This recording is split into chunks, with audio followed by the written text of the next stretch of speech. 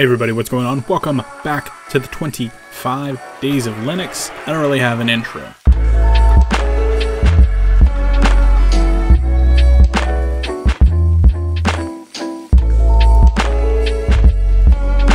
Today we're taking a look at something uh, cool that I kind of saw on Unix porn the other day. It's a, uh, a, a plugin that's basically built to change the theme for your terminal, but aims to make it incredibly easy. One of those things is just like there's no way I'm going to believe it until I try it out. So that, that's what we're doing here. Like I said, it doesn't look very hard to set up at all. That's the whole reason this video exists. Uh, so let's do it. We'll just uh, copy this right here. Uh, so one curl command to install is just going to put it in bin, and then in theory we should be able to run it. So let's grab a terminal here. We'll go ahead and paste in that there curl command and uh, apparently it's done. So I'm in Alacritty here. Uh, I've got a couple of different terminals installed we can test this on, but I guess what we can go ahead and do is we'll just go ahead and run theme.sh and uh, see what happens. So uh, it's telling us we need to, is there a man page? I don't think there's a man page, but we could maybe run theme.sh-help and see what options we have. Uh, we can use dash I or dash I2 to get like an interactive menu. It looks like dash I2 would be for if your terminal supports true color, which I'm pretty sure Alacritty does. Dash R to set a random one. Uh, I don't know. Let's just see here. Let's um, let's go ahead and just do theme.shell dash I2. Oh no, we need FZF installed. I'm surprised I don't have that installed. I thought I did. So sudo pacman-s fzf. Just out of curiosity, there is a possibility it's in the AUR or something that is possible. Oh shit, it actually, or no, they both look like they're out of date. Maybe not. Okay. Well, they're both saying they're out of date, but I don't know. It looks like it is in the AUR, so maybe that would be the better way to install it if you're on Arch, but you know, you just saw once it didn't have the dependency it needed, it flagged me and I installed it. It took two seconds. But theme.shell dash I. And okay, look at this. Uh, we can't use Vim keys apparently, but we can search through them if we wanted to. Uh, so if I just look for Gruvbox, well actually that's not going to work very well because I already have Gruvbox set. Let's find something different, maybe something else. Nord, people like that a lot. So we have uh, a Nord theme here, a Nord light theme, and a Nord alternate theme. Uh, let's just go ahead and hit it. For the purposes of this video, maybe I can go ahead and just kill picom so we can see the theme a bit easier. And you can see it did change my terminal theme. Here's what I'm curious about. I don't actually know how it's working. I want to take a look at my Alacritty config. This still definitely is my config. If I were to open up, let's say another Alacritty window, I see, okay. So it's sort of just changing it on the fly. That's interesting. Okay, before we get any further, how about we do this? Let me open up a whole bunch of terminals. So I have Alacritty here. And then let's go ahead and to the left, let's go ahead and open up Kitty down and we'll open up URXVT and then let's go down one more time and let's open up, what do I have open here? Alacritty Kitty, URXVT let's open up Xterm.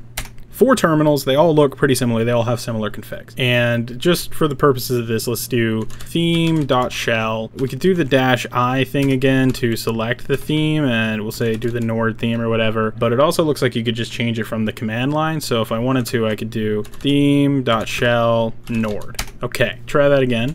Do theme.shell and let's try pop. Okay, so that one changed. Or, you know what, hey, let me, we'll just set it to Nord again. Okay, so URXVT looks a little funky, but I assume that's something you could actually go into the config and change. Theme.shell Nord, theme.shell Nord.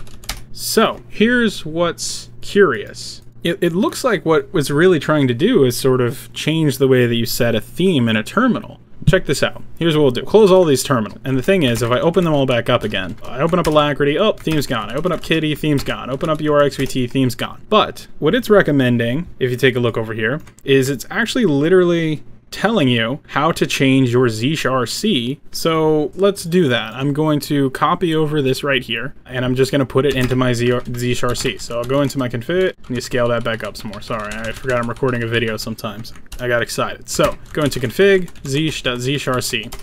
And let's say just sort of maybe towards the top, we'll create a comment and we'll say these are going to be theme.shell config uh, paste all this in. And it looks like what it's doing is it's giving us aliases, th to get into theme.shell and pick a theme. We can use thl to pick only light themes, thd to pick only dark themes, and then it looks like what it's doing is this bit right here is basically just saying every time we load zsh, which is every time we open a terminal, just recover whatever the last theme was. Let's give it a shot, right? So we'll do TH, or uh, let's close that, open up a new terminal here, Alacritty. And you can see immediately, now all of a sudden, our theme is Nord.